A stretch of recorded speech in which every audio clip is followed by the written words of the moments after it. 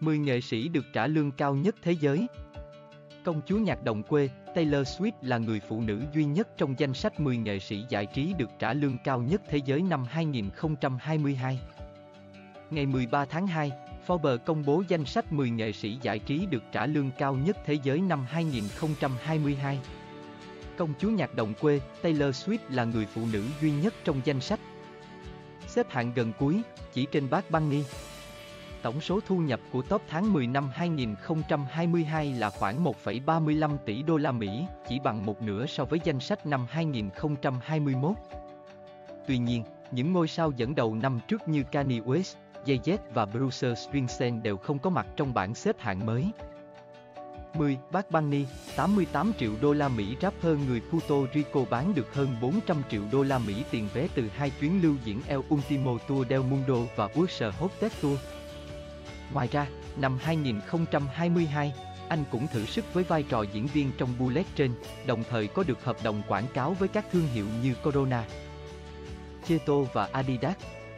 9. Taylor Swift 92 triệu đô la Mỹ dù album Midnight thành công giúp công chúa nhạc đồng quê trở thành nghệ sĩ đầu tiên trong lịch sử giành được đồng thời 10 vị trí hàng đầu trong Billboard Hot 100.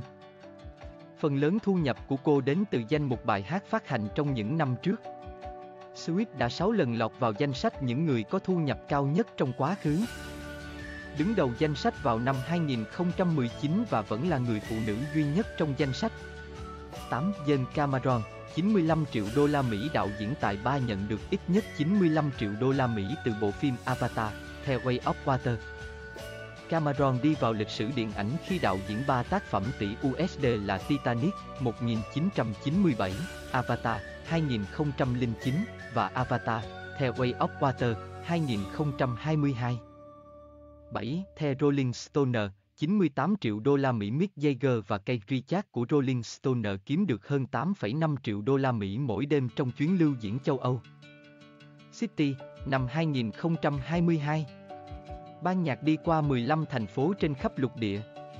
Ảnh, AP 6. Brad Pitt, 100 triệu đô la Mỹ năm 2022, tài tử sinh năm 1963 đóng vai chính trong ba bộ phim Bullet Train, Babylon và The Lost City.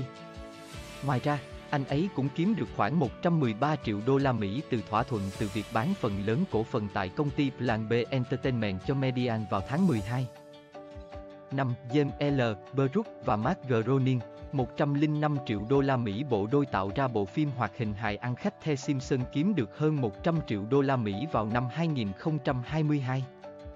Kể từ khi ra mắt 1989, phim có tổng cộng hơn 700 tập. Năm 2019, bộ phim chuyển từ FX sang Disney, mang lại cho cặp đôi này 105 triệu đô la Mỹ. Theo Forbes, số tiền này chưa được báo cáo trước đó. 4. Trey Parker và Max Stone, 160 triệu đô la Mỹ bộ đôi đạo diễn của phim hoạt hình hài sao thờ phát bỏ túi 160 triệu đô la Mỹ nhờ hợp đồng ký với Paramount vào năm 2021 thỏa thuận độc quyền sẽ mang lại cho họ 935 triệu đô la Mỹ trong khoảng thời gian 6 năm. Sự hợp tác này cũng cho phép Parker và Stone tạo ra 14 bộ phim gốc sao thờ phát cho nền tảng phát trực tuyến. 3. Tyler Perry, 175 triệu đô la Mỹ nam diễn viên, nhà văn, đạo diễn kim nhà sản xuất kiếm bộn tiền nhờ dịch vụ xem video trực tuyến Bet và Studio Tyler Perry hoành tráng ở Atlanta. Georgia, Mỹ, anh là người nổi tiếng giàu nhất trong danh sách, với khối tài sản ước tính lên tới 1 tỷ đô la Mỹ. 2. Sin, 210 triệu đô la Mỹ năm nhạc sĩ và ban nhạc The Police của anh đã bán danh mục âm nhạc của họ. Cũng như đĩa hát solo của riêng Sin, cho Universal Music Group vào năm 2022.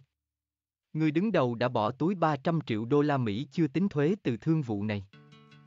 1. Genesis 230 triệu đô la Mỹ thủ lĩnh Phil Collins và nhóm nhạc của anh đã bán bản quyền một phần trong danh mục bài hát của họ cho Concord Music Group vào tháng 9 năm 2022 với giá 300 triệu đô la Mỹ.